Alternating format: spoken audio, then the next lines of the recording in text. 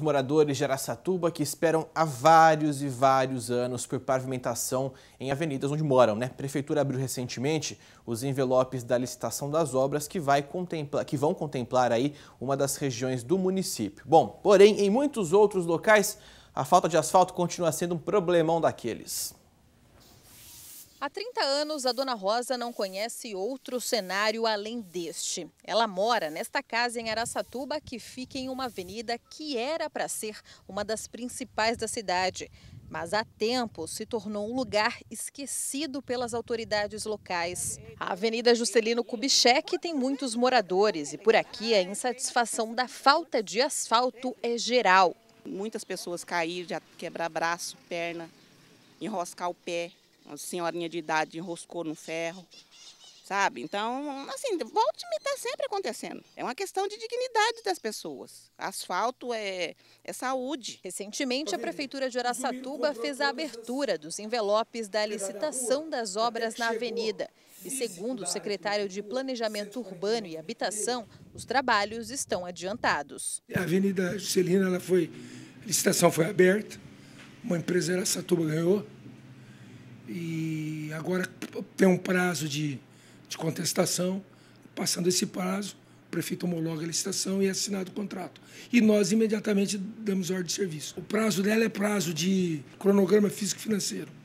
Eu não tenho muita certeza, mas deve variar em torno de oito meses. Enquanto moradores da Zona Norte têm o que comemorar com a mudança, outros já perderam as esperanças. É que tem muitos locais em Araçatuba que ainda estão na terra, igual a este prolongamento da Avenida Joaquim Pompeu de Toledo, que fica no lado sul de Araçatuba. Nós tem criança pequena, pode ter escorpião, cobra. A gente já escuta vários prefeitos que se passaram, que, que ficaram né, na, na, nas suas é, promessas, né? E ninguém a, a fez. Está abandonado aqui, faz um tempinho já. O próprio é, técnico que está elaborando o projeto, dia 15 de novembro nós estamos concluindo, vamos fazer o levantamento, né? De, da parte, é, a processo de iluminação já existe, estamos concluindo, da parte de aterro, corte, né? A canalização, vamos fazer esse orçamento e também já vamos colocar na praça.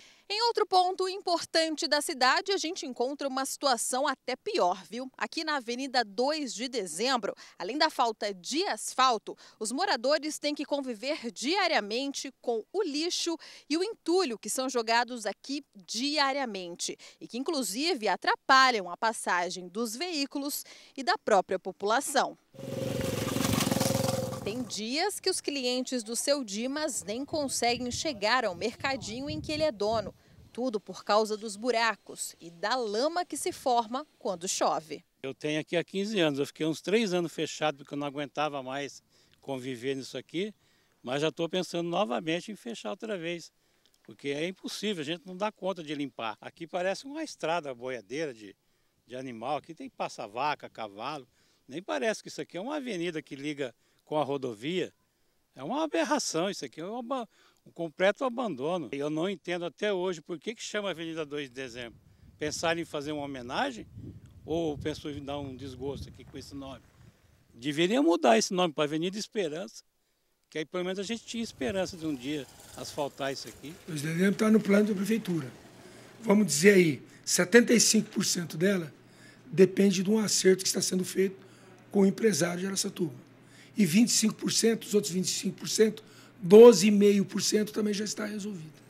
Falta do, vai ficar faltando 12,5%, que nós acreditamos que com o convênio, qualquer que tiver, nós concluímos até dezembro.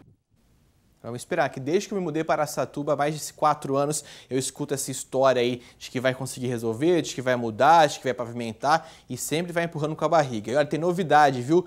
Prefeitura informou agora há pouco que amanhã será feita a assinatura da ordem de serviço para a execução uh, da pavimentação asfáltica, viu? As guias e também sarjetas na Juscelino Kubitschek de Oliveira, então, com a assinatura do contrato, aí aquele prazo que o secretário deu de mais ou menos oito meses, esse prazo vai poder começar a ser contado.